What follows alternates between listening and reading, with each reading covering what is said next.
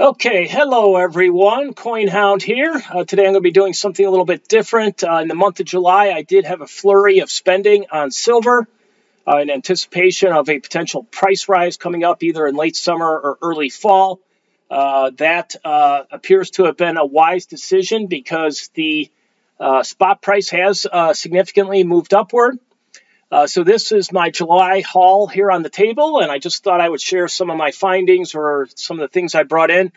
Uh, I do get bored pretty quickly with just stacking the same old things, so I, I have uh, gathered up a, a, wide variety of different types of things uh, with these high premiums on standard bullion like Maple Leafs and Silver Eagles. Uh, it seemed uh, a little bit more reasonable to go out and buy some collectible coins that also have high premiums or higher premiums uh, because in the end, a lot of them uh, ended up not being all that more expensive uh, than a Silver Eagle or a Maple Leaf, and uh, generally they have a lower mintage and a little bit of a collectible value. So, anyways, I'm having a little trouble with my boom here, so I might be adjusting the picture as we go, so you'll have to bear with me on that. Uh, I do ask, please, please, if you have not subscribed or not a subscriber, please hit the subscribe button for me. That helps me very much.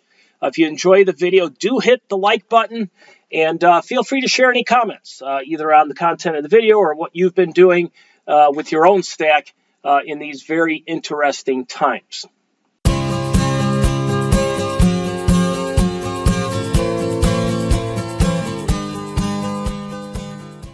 So the first item I have on the table here uh, is a two ounce silver round. Uh, this is the Boston Massacre 250th anniversary. And if you follow my channel, you know I'm into kind of the history stuff, particularly American history. Saw this, had to have it. Uh, it is a, a, a, very large round from diameter, but it's still a bit thin, but two ounces. Uh, this is uh, published or printed, minted, I guess you would say, by the Native American Mint. This is the backside. Uh, it is the first in an American Revolution series, so I'm looking forward to what else comes out. Uh, you can see on the back here you have an eagle, uh, the Tree of Liberty, and some people at the bottom. And then, of course, on the front side, you have the famous etching of the Boston Massacre, uh, which was uh, put out and distributed throughout the colonies uh, by Paul Revere.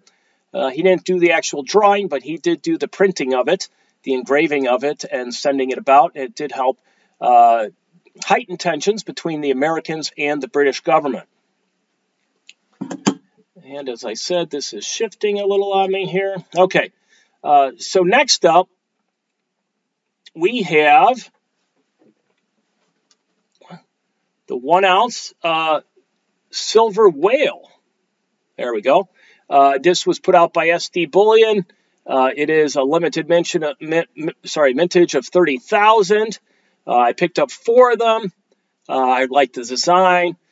maybe down the road I'll try and flip a few of them. Uh, but nevertheless, a neat coin. Uh, I always figure if I can't flip something, I can always pass it on to my kids. Uh, so that's uh, pretty neat. The backside here, uh, this is the Republic of Congo. so there you see 2020. so I picked up four of those. Now, one of my favorites of the month is this here. Uh, this is the HMS Bounty. I love coins with ships on them. Uh, this is uh, from the Cook Islands, 2020. Sorry, 2020 there. Uh, the Queen on the back, uh, pretty pretty standard back there, but this is the side. I like the photos of it, but now that I see it in person, the photos, even this camera doesn't really do it justice. just a really neat coin. Uh, I also picked up four of those. I ended up, the only place I could find it was from the Silver Trader in England. Uh, and to get the shipping cost uh, down, I shouldn't say down, but uh, it was basically a $10 shipping cost. And uh, for one coin, that would be crazy. So I got four uh, to try and keep the shipping to a minimum per coin. maybe I will be flipping some of those as well. All right. And um, next up, we have Antigua and Barbuda, uh, the Rum Runner.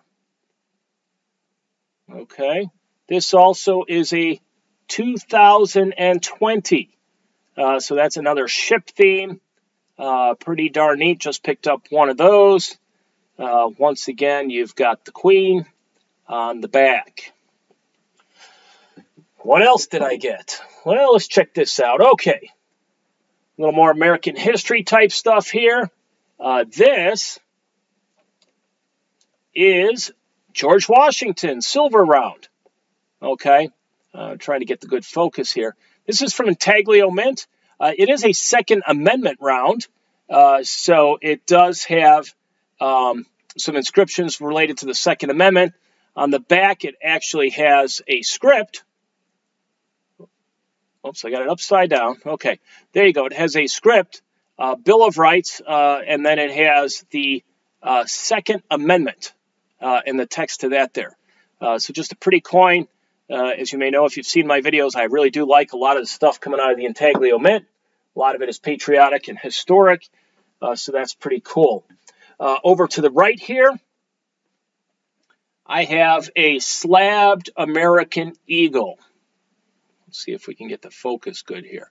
All right, so this is an MS70 2020. Uh, I don't buy a lot of slab stuff, particularly for bullion, uh, but I, I decided I just wanted to have one uh, American Eagle that I could say is quote unquote perfect. Uh, MS70 here, 2020 It's been such a crazy year. Uh, so this seems like it would be a nice uh, memory to, for that. Here's the back side. Uh, so I did decide to pick that up. I got this one. Um, trying to think where I got this one from. I think I got it from Universal Coin, um, which I found some good deals on. it doesn't come up too much in the YouTube community, but uh, they have a nice website, and you might want to check them out if you haven't.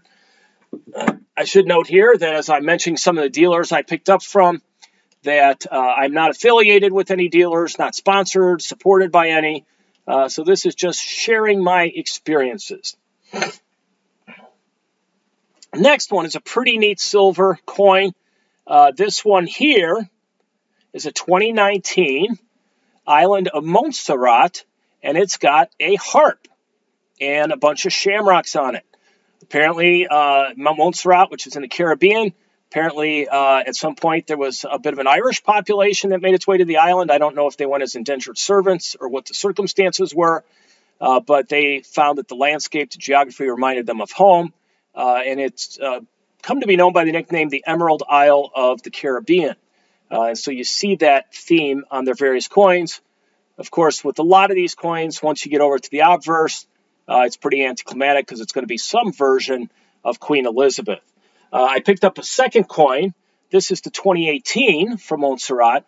Uh, a bit different. It's got the British flag on there, uh, but it's also got a little crest uh, that has a cross and a woman with a harp. It's uh, probably a little bit hard to see there, um, but that's a pretty neat looking coin as well. And of course, you've got the Queen Elizabeth.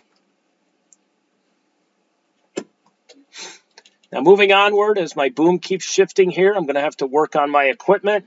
If anyone has any recommendations for something that really holds your camera well, um, that's not overly expensive, I'd love for you to leave that in the comments section. Uh, now, uh, wedge-tailed eagle. This is a 2019 wedge-tailed eagle. I have been collecting the kookaburras from Australia. Uh, I just like a lot of different things with birds on them, uh, and I kind of uh, caught uh, cap- captured my fancy with these wedge-tailed eagles. Uh, I don't think I'm gonna go back and get a bunch of them, but I got a 2019. I also have a 2020, and I'll probably try and get them at least one of them moving forward each year. Uh, and of course, on the back's the queen. Next up, uh, we have the giraffe. This is from the world's the world's wildlife collection. And this is kind of neat. It's almost like a proof-like finish with kind of a mirrorish background. Got to be careful about doing a face reveal there. Uh, and this is from the Congo. So it has kind of the standard, uh, um, I assume this might be the obverse because it's got the country's logo on there. Um, but that's pretty standard, standard across the uh, Congo coins. Uh, I picked up the leopard from Ghana. the African leopard from Ghana, uh, one ounce uh, silver. And then on the back, you guessed it, the queen. Okay. Now, uh, coming back over here, we have uh, Flying Fish. that up. Okay, the Flying Fish. This just came out from APMEX uh, just a couple weeks ago. Uh, and of course, it's one ounce. Once again, we have the Queen. Feel like I'm repeating myself here. This is a $5 coin, and it's from the island of Tokelau. Uh, not to be uh, not to be confused with Tuvalu, uh, Tokelau. And uh, I absolutely know nothing about Tokelau. Uh, probably should have looked it up before uh, I pulled this up. Um, but flying fish, got some neat detail on that. I just picked up one of those kind of to round out in order. Here we have the Giants of the Ice Age. This is the saber-toothed tiger. Uh, I believe it's the second in the series. And this is from the Republic of Ghana. Okay, there's a good view. Uh, and so the first one was the Mammoth. I don't have that one. I've looked at retroactively getting it off eBay or something. Uh, they're a little bit pricey, got a pretty hefty premium on them, so I haven't pulled the trigger yet. Uh, maybe I will, maybe I won't, not sure. Uh, moving along here, uh, we have Seahorse. Uh, pretty neat. Uh, once I got this in person, I, I really, really liked it. It says Caribbean Silver there on the front. On the back side,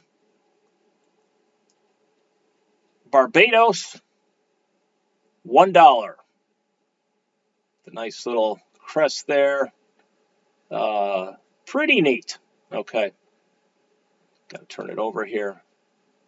Okay, there you go. Uh, moving onward, another coin from Barbados.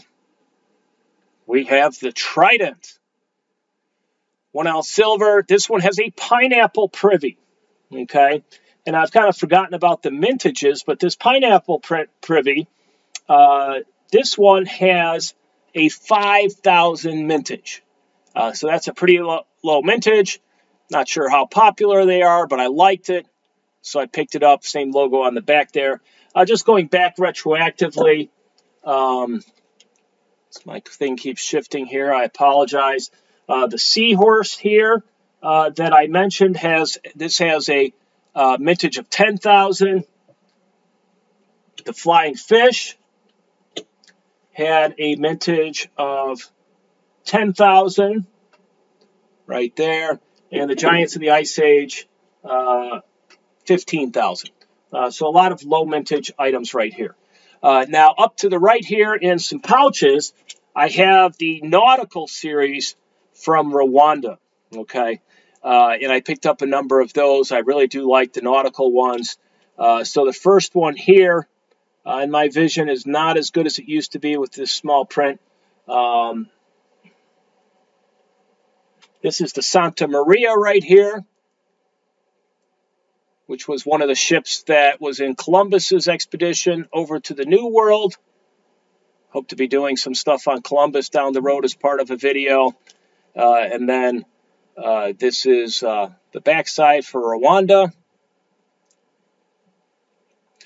Now, these coins have a really neat design, but uh, they're, they also are a little bit busy, so they can be hard to see. I got um, uh, the Mayflower right here. Brought the Pilgrims over. I've got the Victoria. Victoria, sorry, right there. And the, I believe this is the Endeavor. Okay, so those are the four that are out. Um, over here, we've got uh, the APMEX release uh, for the Mandalorian, the Mythosaurus. Uh, I am one of those strange cats that is not into Star Wars. Uh, Star Wars doesn't really do it for me at all. Um, uh, but uh, I figured I'd take a roll of the dice on it. Uh, I did pick up a couple of these Mint Direct and one just in the in the flip. Uh, my kids like Star Wars, so worst comes to worst, they can get them.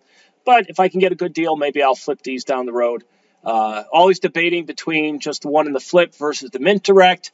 Uh, the Mint Direct is kind of seems a little more official, slabbed version. Cost it costs two bucks more than just the coin itself.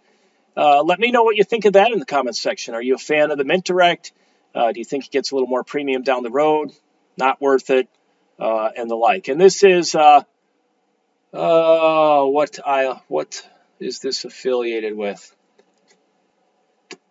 Niue. Sorry, it's Niue. It's right on there. Okay, so this is the island of Niue. Apologize for that. Uh, the small print on these coins just really does in my vision. Uh, I think I need to get some new glasses. Uh, so there you have that. I got a couple of those. And then here we have uh, the new series that was put out by APMEX, uh, Prehistoric Life. Got the Tyrannosaurus Rex here, 2020. Very detailed coin. I'm not sure how well the camera's picking it up. Uh, he's got a, a, I don't know if it's a Triceratops down the, at his feet that he's killed, getting ready to eat. Uh, so um, this got a lot of buzz when it first came out. Uh, I did pick up uh, a couple of these. Only one of them's on the table, uh, and this is from the Congo. It's fascinating how all these countries from around the world uh, have all these coins that are so popular from a collectible standpoint. Next up, uh, a silver round. This is from the Golden State Mint. Uh, did my first order with them, and this is kind of the Incuse Indian design that you find on uh, some of that old pre 33 gold. Uh, just a really neat design. I like it. Um, it's neat on the gold, but some of those gold pieces are really small. Uh, and getting this here in the silver, just this clean, crisp silver, uh, that's just incredible. I love that. And then on the back side, uh, of course, you've got that, I'm assuming it's an eagle, uh, E pluribus unum, unum on there. It does say Golden State Mint. Uh, so I knew I had to have one of those. Uh, basically, when I collect silver rounds, if they're generic silver rounds, uh, I'll always take one of them and put it in a capsule and keep it for my collection. The rest I will just stick in tubes. Uh, here we have, I guess you could say, my first Buffalo round, also from the Golden State Mint. Uh, pretty neat. Um, and uh, I picked that up at the same time I picked up that Indian. Uh, I got several, uh, a couple of these, I should say. Um, and uh, basically, there's the side with the Indian.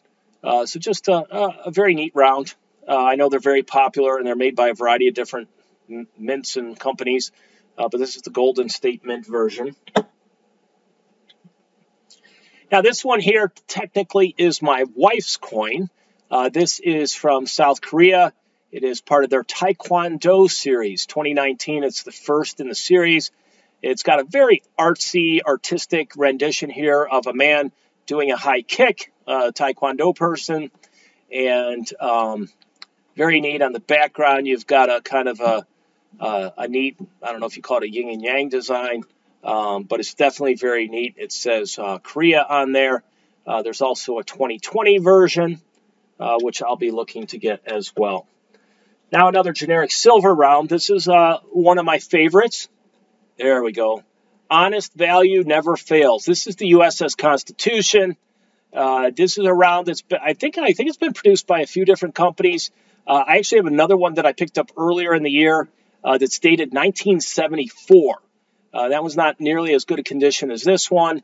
Uh, this looks like it was produced much more recently.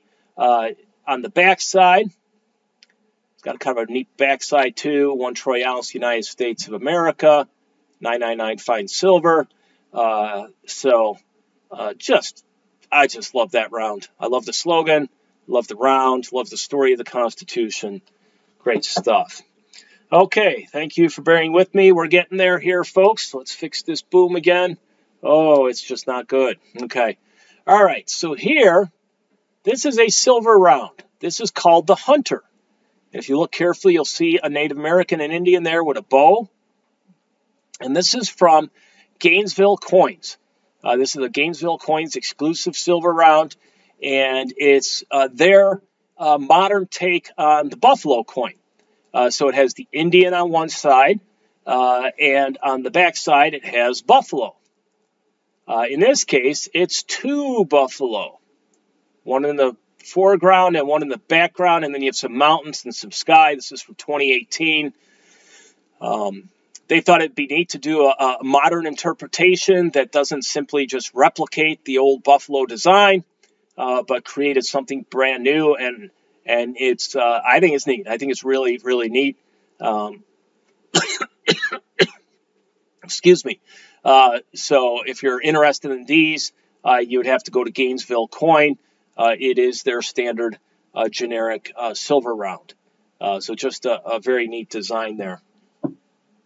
Now, um, the next several rounds I also got from Gainesville Coin, and these are silver rounds that are produced by the Mason Mint. Okay, the Mason Mint.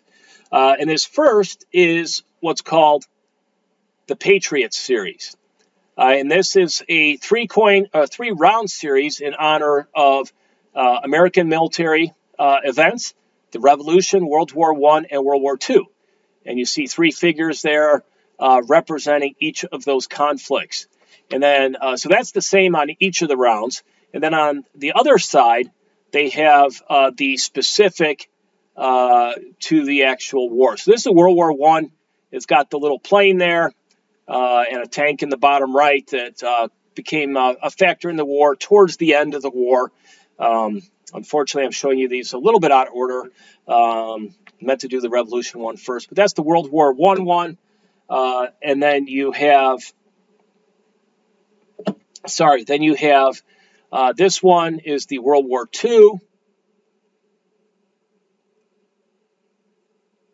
And uh, it's kind of busy, but it's got an aircraft carrier, it's got a tank, it's got a plane, it's got a lot going on. Uh, not sure that it's captured well on the camera here, uh, but that's pretty neat. I don't know, maybe a little too busy. I'm not sure, uh, but a neat idea. And then uh, finally, uh, you have the American Revolution round, uh, which has the old sailing ship in the background, and then a man on a horse in the Revolutionary garb. Uh, so that's neat. Three coin series. I picked up all three of those from the Gainesville Gainesville coin. Uh, Mason Mint has now started a new series uh, called Frontier. It's also going to be a three coin series, um, and uh, this is it here. And uh, it's got three different figures represented. the two coins aren't out. The bottom, the one to the far left is a pilgrim. That's the first series, and then I'm not sure what the next two will be. Um, we'll have to wait and see. Uh, and then on the back side, there you go. Uh, this is uh, the Pilgrims. Uh, and has a representation of the Pilgrims uh, in their connection to the frontier. The frontier at that time would have just been uh, the eastern coast of the United States. Um, so, anyway, so that's pretty neat.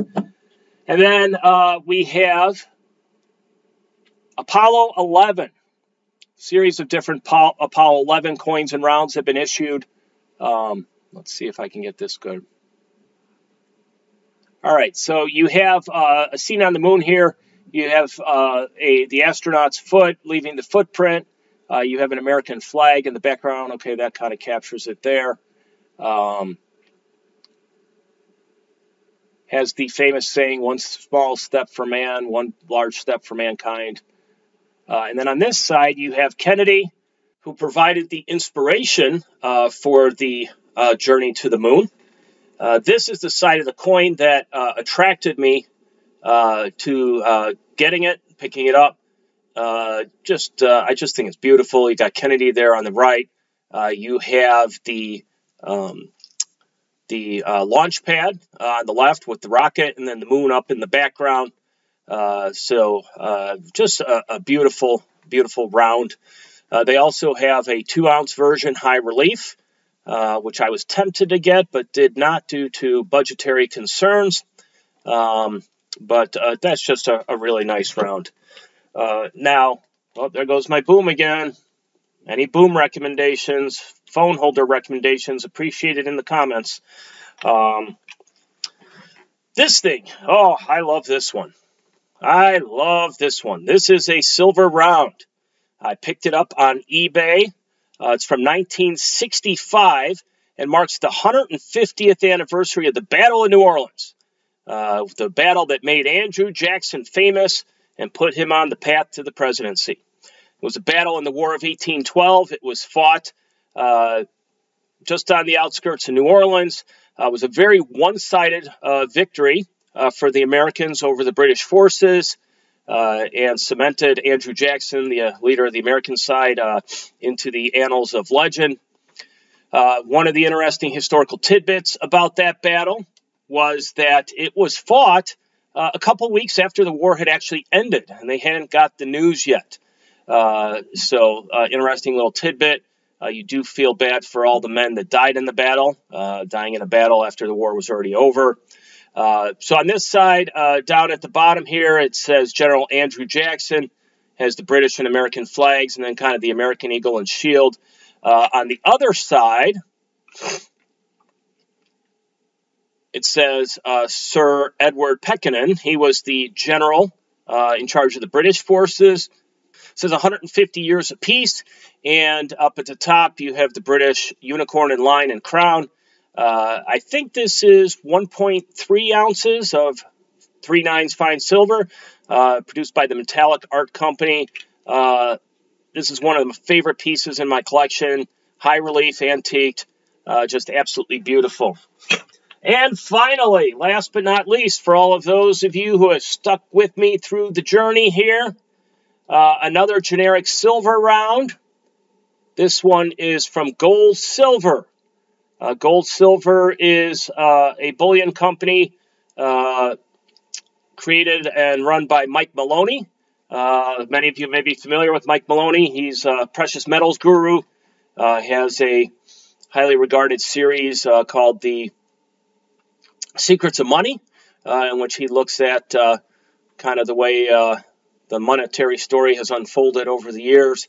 Uh, he was very influential in getting me into stacking, uh, and uh, this round produced for his company, to me, is just spectacular. All right, it says GoldSilver on the bottom. It's got a charging bull, a sun with the rays on it there. And then on the back side, let's make sure I got this turned the right way.